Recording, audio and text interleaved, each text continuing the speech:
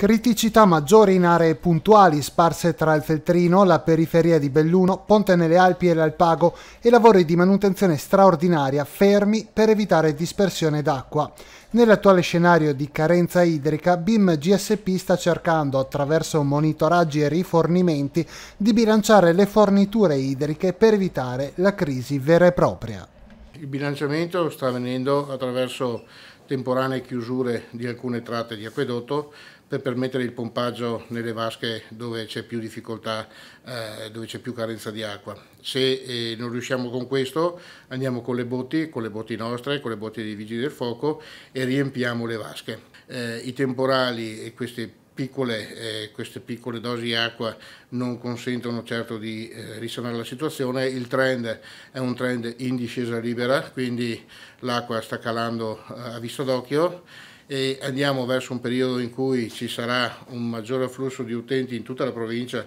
perché il grosso del turismo arriverà da fine luglio da questi giorni fino a tutto il mese di agosto. Se la siccità continuerà eh, cercheremo comunque di attuare e continuare con questa, aumentando eventualmente le chiusure notturne, eh, che per adesso cerchiamo di limitare dalle 10 alle 6 di mattina in modo che le attività possano comunque avere tutto il tempo di eh, finire loro, i, loro, i, loro, orari, però eh, se dovesse peggiorare dovremo eh, continuare anche in zone, in zone più ampie. È corretto pensare che con abitudini di consumo un po' più parche, diciamo così, in situazioni come queste si guadagni qualche giorno, cioè ci sia per qualche giorno in più più acqua a disposizione, cioè che l'emergenza inizi un po' più tardi.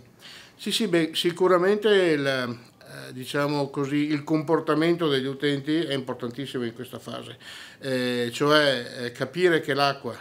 è un bene importante che se manca eh, è veramente grave, ci consente di pensare sempre eh, in ogni momento di utilizzo, che sia per la doccia, che sia per qualsiasi altro utilizzo che si fa in casa, di non lasciare sempre il rubinetto aperto ma di chiuderlo quando non viene usata l'acqua. Eh, direi che sarà un comportamento che dovremo assimilare come cittadini sempre di più nei prossimi anni e questo aiuterà sicuramente. Eh, aiuterà sicuramente.